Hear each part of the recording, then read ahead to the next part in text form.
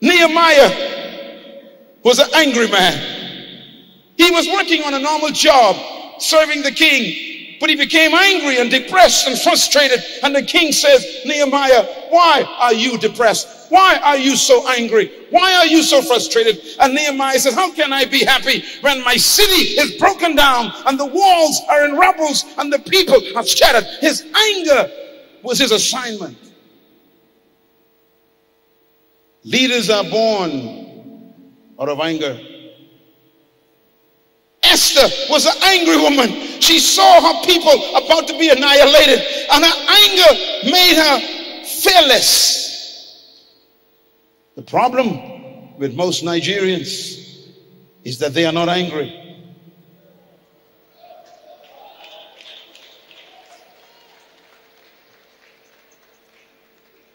Whatever you tolerate, you will never change. Whatever you complain about and accept will never be transformed. We need angry people in Nigeria to rise up and say, enough is Enough. No more corruption. No more poverty. No more oppression. No more abuse. Are you angry, young man, or are you just tolerating it?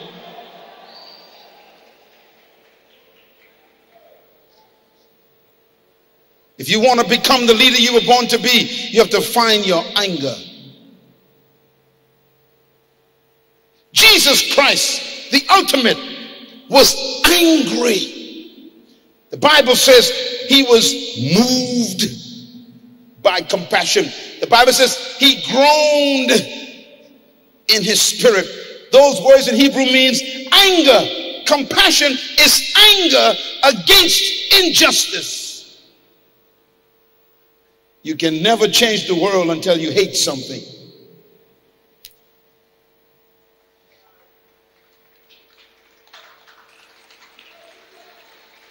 Stop living just to make a living.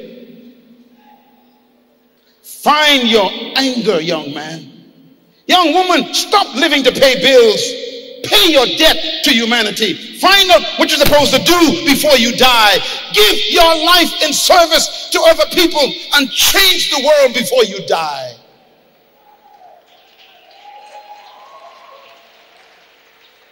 Find out your potential. Let me close with an important principle.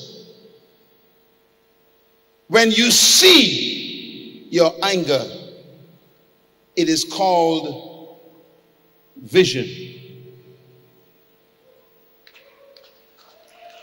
Vision is your anger in pictures. Vision is when you see your purpose in technicolor.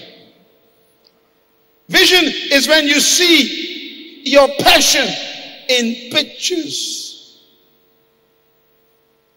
All great leaders became great because they saw their passion in pictures.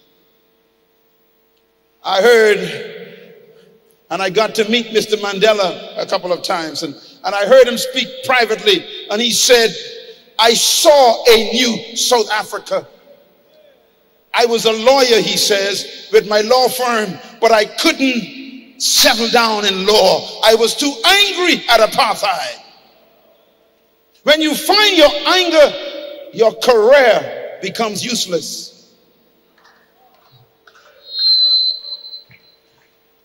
Most people try to make a living instead of make a difference.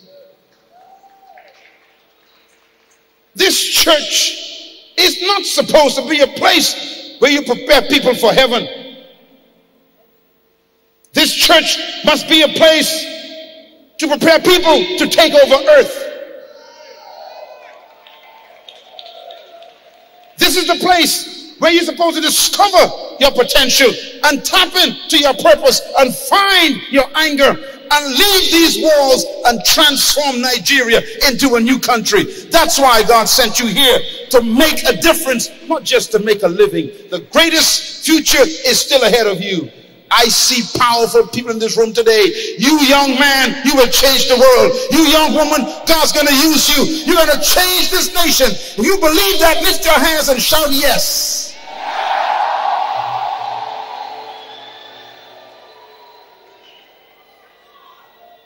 And God always raises a visionary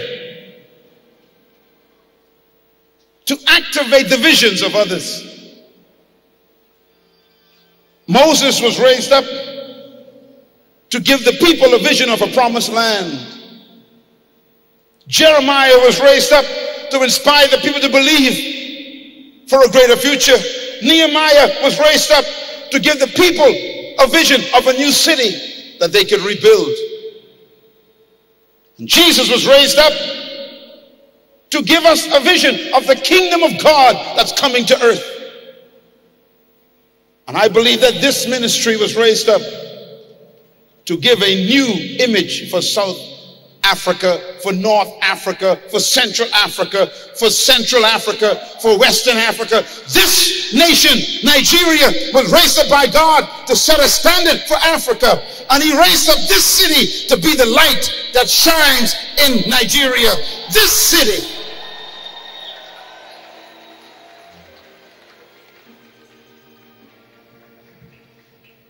Now listen to me carefully. In Matthew chapter 20, God says these words through Jesus the Son. He said, if you want to be great, you must become a servant to all men. Your potential was given to you to serve the world. Whatever you were born with is not for you. It is for the world. And leadership is born when you find your gift, your passion, your potential to serve the world. Ladies and gentlemen, I want to challenge this church to understand that this man is carrying a vision. And this ministry is only a small part of that vision. Listen to me carefully, please. I speak with authority today. Every visionary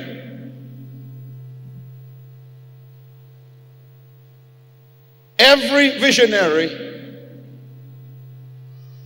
comes first as a person God never gives a group a vision. God has never given a group a vision. He always gives a vision to one person.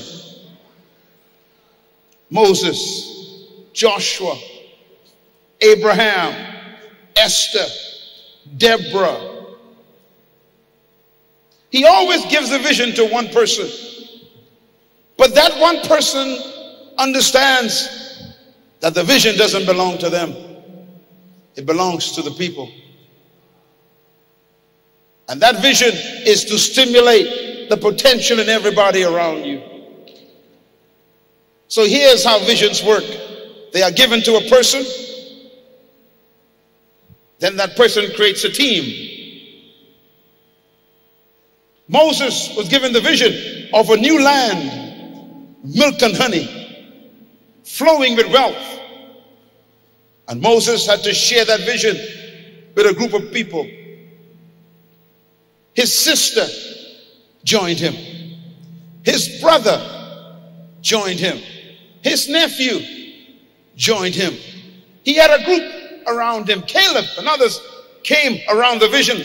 And Moses said, This is the vision I see. A land with milk representing cattle and honey representing agriculture. He said, I see a land filled with prosperity and wealth. And the people believed the vision. And over one million people came out and joined the visionary. But listen to me carefully.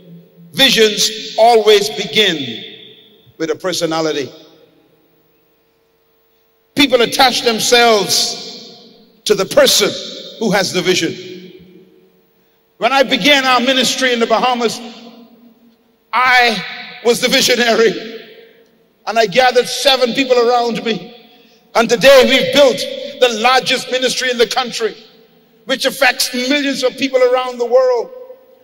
And everybody looked to me because I was the visionary. And I remember after the first 10 years, the Lord said to me, I told you that I will raise you up to go and impact the third world countries. That's over 4 billion people you must minister to. And I was living on an island seven miles wide, 20 miles long. That's where I still live. And I couldn't believe how can I impact 4 billion people and I live in a little village on an island seven miles wide. And God says, transfer the people's allegiance from you to the vision. The people became attached to me. They wanted to see me every Sunday.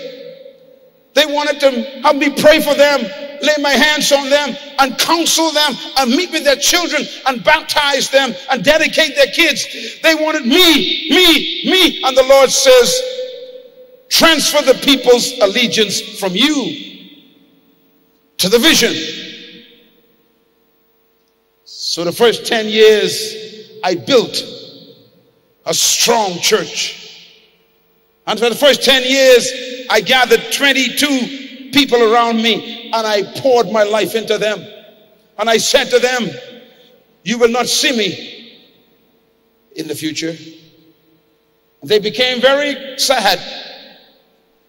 I said, Look, I have to transfer the vision to you because I have to go to the other phase of the vision. I've got to go and hit the world, I got to impact the world. And after the first 10 years, no one understood what I did. I chose my brother in law. I said, I want to lay hands on you and present you to the people. And the people were confused. I said, Do not be confused. I'm going to lay my hands on this man because he shall be the pastor of this local church that I've built. The largest church in the country. I was giving it to someone else. I laid hands on him and I ordained him. I said, You are not a pastor of this church. And for the next four years, we spent every day together. I poured my life into him because my passion was for the world. And I knew I couldn't reach the world and still be tied to the local church. And after four years, I got a phone call one day, a simple phone call. The phone call said, Hello, Dr. Munroe. This is your friend, Carlton Pearson. I said, Hi, Carlton. He said, Look, I have a problem. I have 15,000 people in an auditorium at a conference here in the United States in Tulsa. And Archbishop Benson Idahosa was supposed to be here to speak tonight. And he can't make it. He is stuck in England. And I need a speaker to take his place. And God told me to call your country and tell you to come all the way to America to speak tonight. 15,000 people waiting, and I don't know who's going to speak. And you the one God told me to bring. I said, Are you sure? He said, Yes. So I caught an aircraft flight, flew to Tulsa, arrived at five o'clock, went straight to the auditorium, 15,000 people packed in to this big auditorium called the Mabee Center. And I walked on the stage. They gave me the microphone.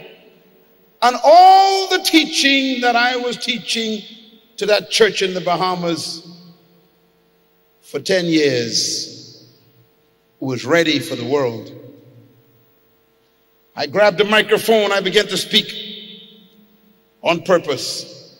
It was the only night that TBN and Paul Crouch was present for the meeting. They just showed up that one night, and I was the speaker. And suddenly, they sent that message around the world to over 600 million people. And in one night, my life was transformed.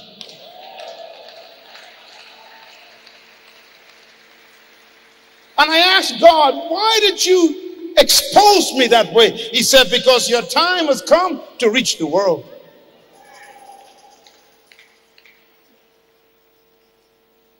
And my church fellowship knew my potential had shifted. You know, when, when Moses was about to leave the people and he went up in the mountain, it was a test. Because when he left them physically, they began to want to see him. And they waited for days and days wanting to see him, waiting for days and days. And they became so frustrated, they decide to start their own ministry. Hmm. The same leaders that began with me 30 years ago are still with me 30 years later. Same leaders.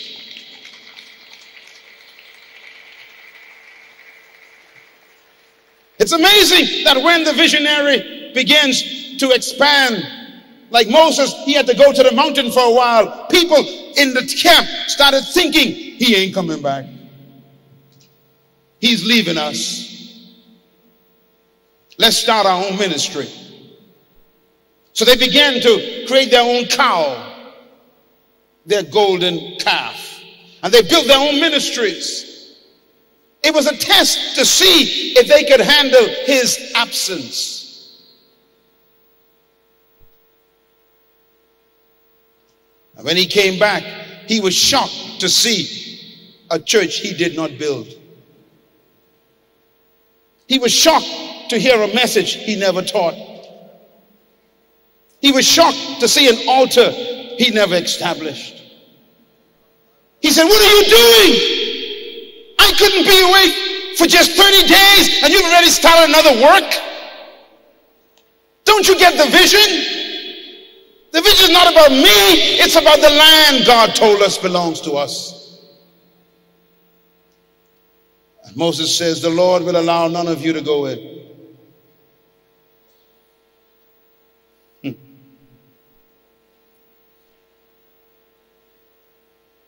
Moses kept telling them about the land. They wanted Moses. They were supposed to want the land. The vision is always greater than the visionary. Capture the vision of this church. I am here today away from the church in the Bahamas because I don't need to be there. Because great leaders make themselves unnecessary.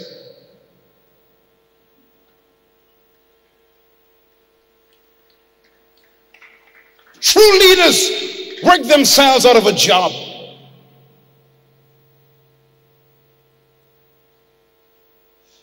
Leadership is about leaving.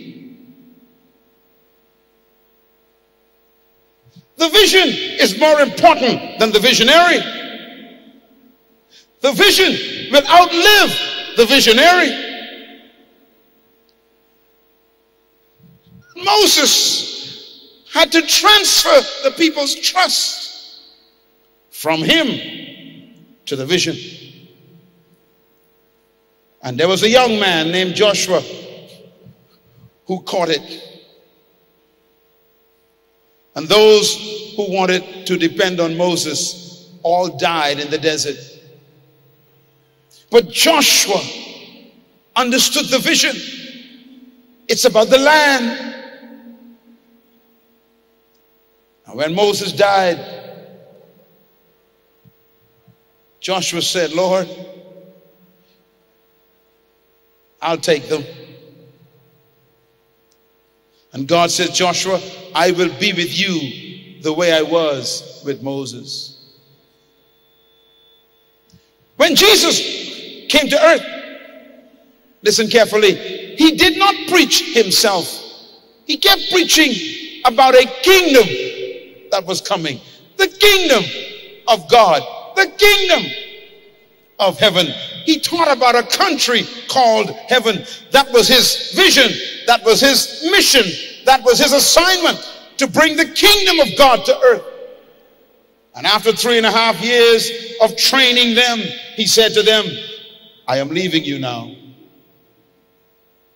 And the Bible says in John 15, they became depressed. They became angry. They became frustrated. And he said to them, Why are you frustrated? Why is your heart downcast? Why are you so depressed? And they said, Because you said you're going away. And Jesus said, Of course I'm going away. But I'm leaving with you the vision. The Holy Spirit shall continue to teach you what I taught you. It's time for you to grow up. He said, Before now, you never prayed in my name because you had me with you. But I'm leaving you now, he says. It's time to grow up. You must now pray to the Father for yourself in my name. You can't talk to me directly anymore. You got to use your own faith and use my name to get things from your Father. He was weaning them of him as a personality to the vision. I've come to tell you this great church, it's time for you to grow up and be the leaders of this city.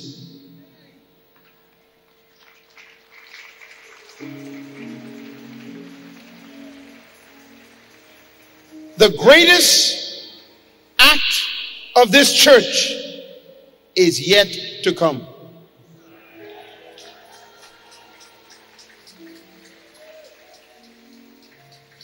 Listen carefully. And Jesus said, It is better for you that I go away.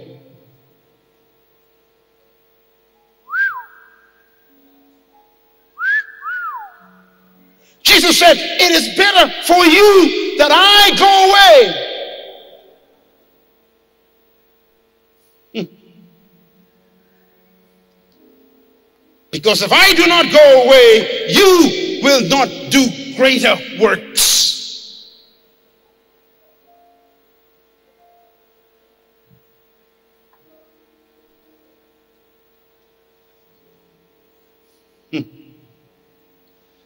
I have made myself unnecessary. So our church grows in my absence. They don't need me anymore. Because true leadership is about leaving. It is better for you that I go away, Jesus said. If I do not go, you will do not do greater works.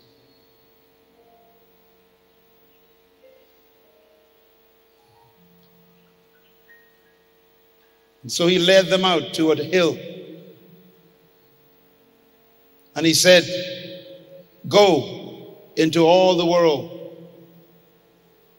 and take the good news of the kingdom that I gave you to every creature.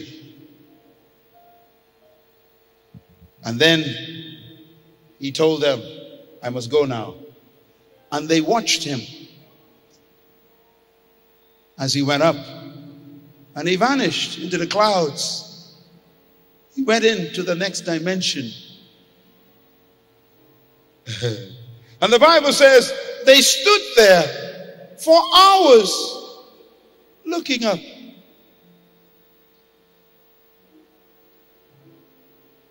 Wanting him to come back, wishing he would come back, waiting for him to come back, hoping he didn't leave.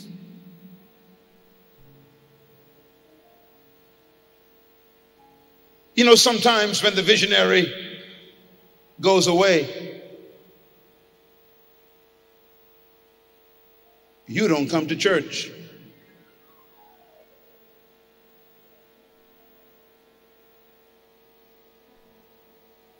Hmm. Why? You're watching. Sometimes the visionary goes away and you refuse to show up for a meeting because you're watching.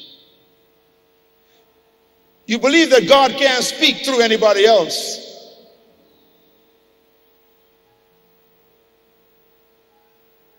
I've come to tell you that it's your time now.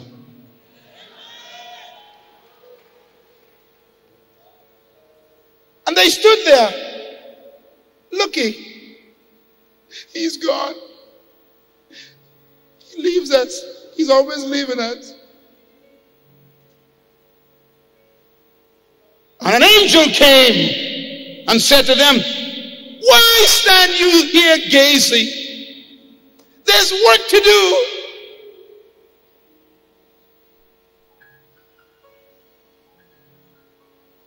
Get away from here. Go into the world and do what he says. The world is waiting for you.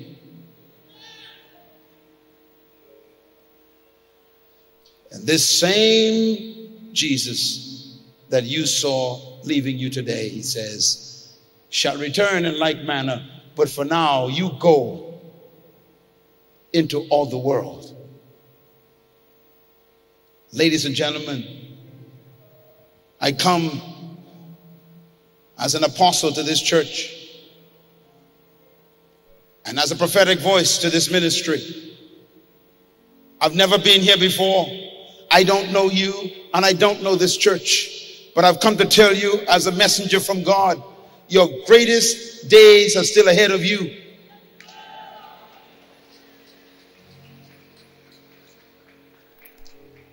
But God has raised up this man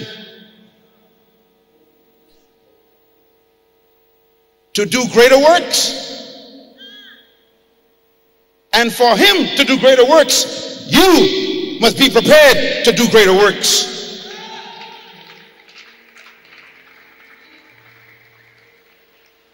It's time for those who believe in this vision to embrace the vision and take responsibility for this vision and take this vision to the next level. Moses never went into the promised land. Joshua did.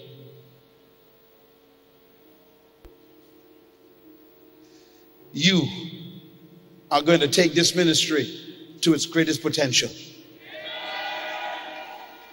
You are going to build the next buildings. You are going to buy the properties. You are going to establish the television stations. You are going to build the radio stations. You are going to go into government and change the city. You are going to become the governors and the mayors and the commissioners. You are going to transform this state. This is now your time.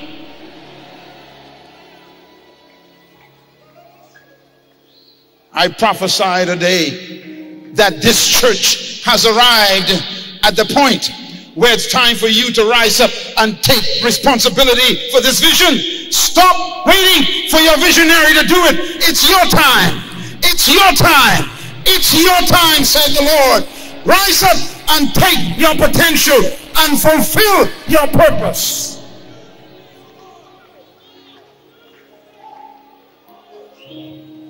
The hour has come for you to stop looking to your pastor as God and look to God as God.